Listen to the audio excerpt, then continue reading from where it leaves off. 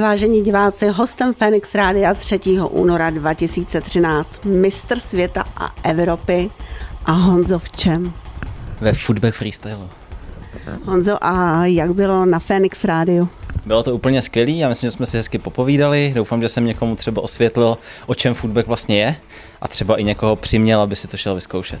A co Luboš jako moderátor? Paráda úplně. Nemám jedinou výtku, protože je tady za kamerou.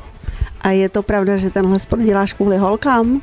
Není to úplně pravda. Samozřejmě byl to jeden z motivačních prvků, třeba proč jsem s tím sportem začal, ale v dnešní době je to hlavně proto, že mě to baví a svým způsobem i živí a prostě je to sport a já si myslím, že by měli lidi znát po celém světě a z toho důvodu se tomu věnuju. A když mistr světa, tak kde poprvé a kdy? Poprvé to bylo v roce 2004 v Montrealu.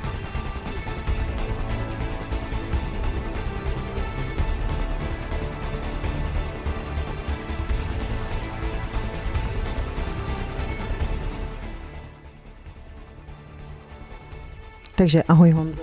Ahoj, ahoj. Eh, já ti tady dneska budu předávat dva dárky. Jeden je od Jindry Horeckýho z mateřské školky Pastelka. Já Jindrovi moc děkuju, je to úplně krásný obrázek. Můžu ho ukázat? Já doufám, že ano. Určitě. Vypadá to takhle, chybí tam jediná věc a je to footback, ale Jindra je ještě mladý, koukám, že je mu pět let, takže ještě má spoustu času tam footback přikreslit.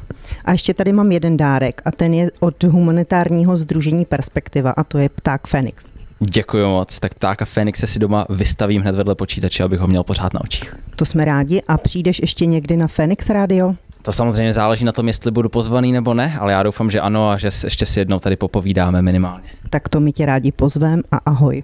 Děkuji moc, ahoj, mějte se hezky. Ahoj.